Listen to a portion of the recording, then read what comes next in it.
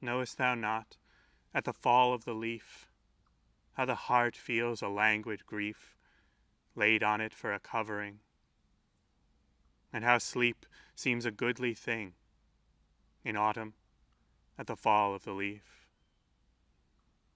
and how the spirit gripes misfortune at the fall of the leaf in autumn as one that makes the end more brief, and how the mind with the falling leaf falls till its births are mere abortion.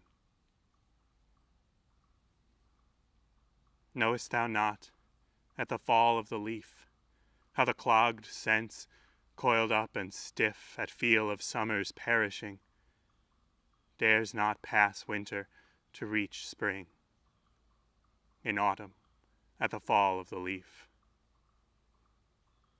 And how the swift heat of the brain hateth because it is in vain, in autumn, at the fall of the leaf?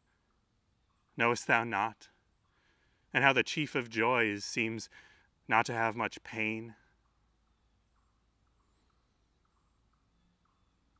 Knowest thou not, at the fall of the leaf, how the soul feels as a dried sheaf, bound up at length for harvesting, and how death seems a comely thing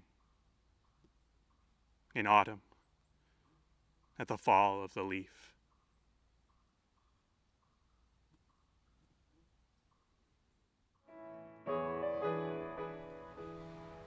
Hi everyone, thanks for watching Graveyard Poetry. If you've enjoyed this video, please like and subscribe.